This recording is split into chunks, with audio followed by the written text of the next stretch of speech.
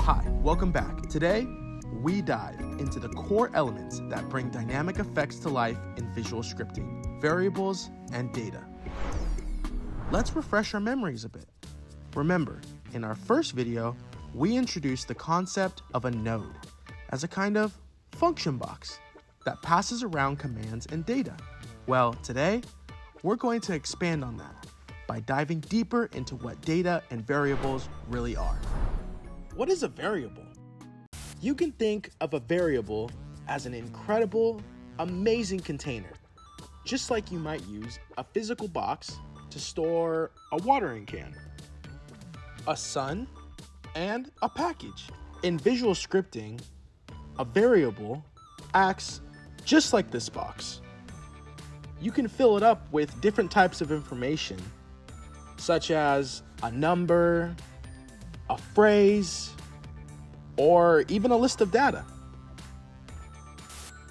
In the effects project, you can bring in objects from the hierarchy panel as variables by simply dragging them into the visual scripting editor. You can also add properties from the inspector panel as a variable and also asset images, textures, and materials from the assets panel into the visual scripting editor as a variable. These elements fundamentally hold specific data that becomes instrumental to your scripting logic. For example, when dragging an object into the visual scripting editor and transferring them into a node, it allows you to modify its attributes. We have a node called get component by type, which will essentially get the component attached to this object. In this case, it's transform and mesh renderer for you to use. Also, you can dictate its behaviors.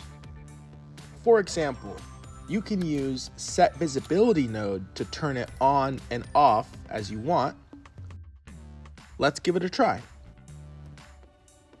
We will use screen tap, our old friend, to control the visibility this time.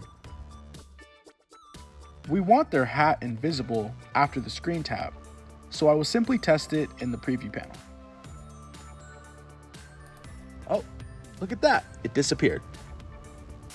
Controlling the component and its property of an object as a variable is slightly different than the object itself.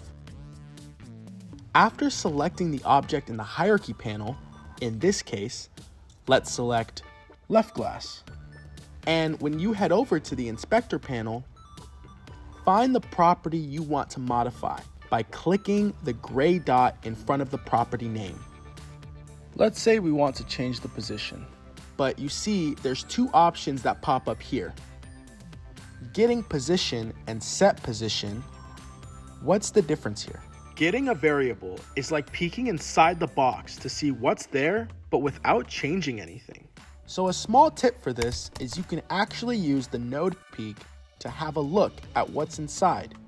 And if you change the position to say 10, 0, 0, we'll see the value in the peek node also change. Straightforward, right? Setting a variable, on the other hand, is like placing a new item into our variable box, changing its content actually. So let's say we want the position of our object to get changed after our screen tap. We're using the node screen tap here. Link it over to the enter port of the set position. And we can simply just modify the value here to let's say 5. And y-axis is 5 as well. So let's give it a try. We click on the preview panel and see the object actually moved over there. Just remember, get is for peeking inside and set is for changing its value. Adding a customized variable. In addition to those preset variables, you can also add new variables to store and retrieve the data you need. Start by navigating to the Visual Scripting Editor and click on the My Items button in the toolbar. From there, you'll want to click the Add button next to Variables in the My Items sidebar. You're now ready to customize your variable. Click on your newly created variable to view and adjust its details in the Detail sidebar. Here, you can personalize settings such as the variable's name, its type, and even its default value. This level of customization allows you to truly make your variables your own. But we are not done yet. To use your variable in the Visual Scripting Editor, you need to click the Create Node Circle button next to your variable's name. And here, we need to decide whether we want to get or set the variable. There you have it. You are equipped to add and customize variables to suit your specific needs in the Visual Scripting Editor. Configure a variable's data types. Okay, let's dive in a bit here. To configure a variable, you need to determine the data type. Go to the detailed sidebar and find the type slot and click on the drop down button. It will show you a list of data type options, which essentially represent the kind of information your variable can store. And choosing the correct data type is essential. For instance, a number data type only stores numeric values, while a color data type is exclusively for color values. Making sure you match your data with the right data type is crucial to avoid errors and ensure your script functions correctly. Let's break down some common data types you will use in visual scripting. Number can be an integer or a float number with a decimal. Perfect for counting or indexing. Boolean is a data type that has only two possible values, true or false, or much like a checkbox status, check or unchecked. String is used for storing sequences of characters such as sentences or words. Colors manage color values typically defined with RGB or hex. Vector 2, Vector 3, and Vector 4 these represent positions or dimensions in 2D, 3D, and pseudo 4D spaces, respectively. Rect represents the dimensions of a rectangle in their 2D space, defined by x, y, the width, and the height. Great for layout and interface design. Texture 2D pertains to a 2D texture, often used for texture assets. You can set different assets to it as you want. The last one, scene object. You'll find that storing and retrieving scene objects through variables is a very handy trick in game effect development. We will explain more later. By understanding and correctly utilizing these different data types, you can create more structured and effective scripts. Configure a variable's container type. When creating a variable, you also need to choose a type of container for your data. Go to the Detail sidebar, and you will see from the drop-down menu that there are two options, single or array. A single container means it holds one data item. It could be data of any type, number, or color.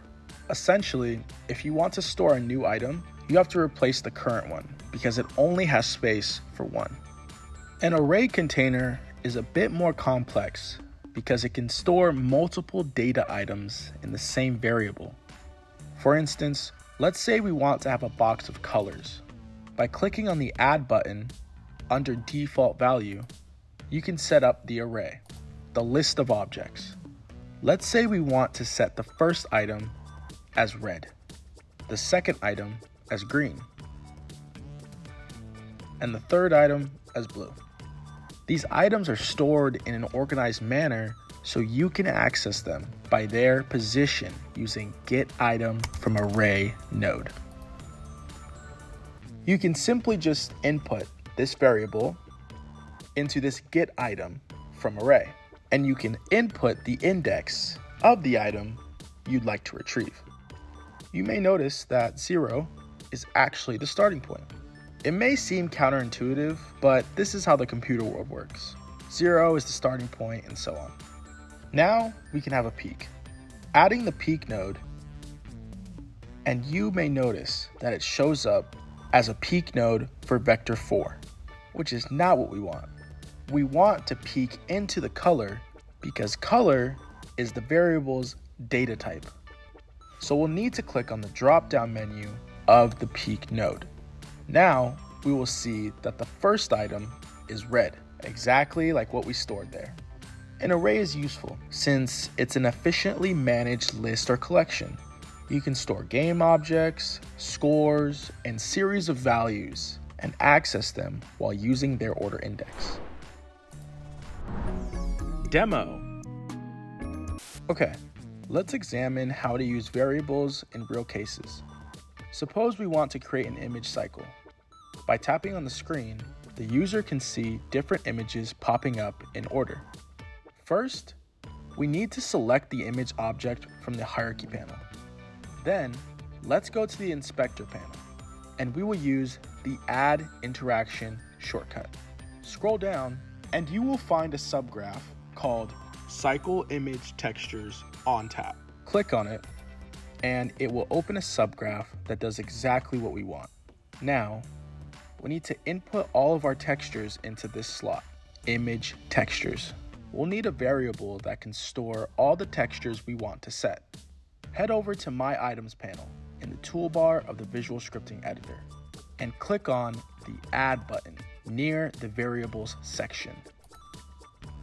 And we will name our variable Textures. Then, go to the Details sidebar. Since this is an image, we need to make sure that the variable box can hold images. In this case, we will select Texture 2D we want to put three images into it, so it can't be a single container. It has to be an array. After setting up an array, click on the Add button three times to create three boxes in this variable. By clicking on the default texture slot, you can swap it to the texture you prepare. And I'll set it up like this. After setting everything up, we need to bring the variable into the visual scripting editor. Since we don't want to change the value of the variable, we just want to peek into the variable value. So we're going to use get variable here. After get variable, link it over to these image textures. Now let's test it. Click on the preview button and you will see that the image changed. Because you set the order as looped, it will show in the exact order you set up this array. But if you change it to, let's say, random, it will just display a random image without following the index you set up in the array. You can also set it up as shuffle. Just give it a try. Pro tips use templates to learn variables. Variables are essential for creating complex effects in visual scripting. You can learn their usage by studying our templates.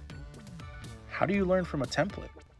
Pick one template that resonates with your interests, like the photo slideshow. Just remember, not all templates will use variables, but some of them will, like multiple times. And when you open the template, you can simply head over to the visual scripting editor click on the My Items sidebar and it will show you what variables get used there.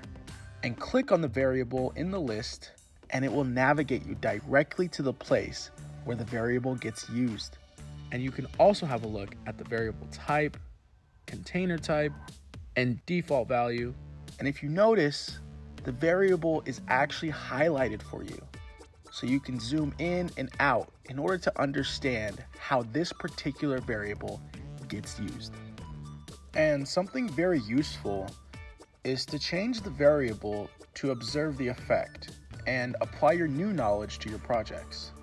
Another pro tip is you can actually search the variable by its name. So let's search upload count.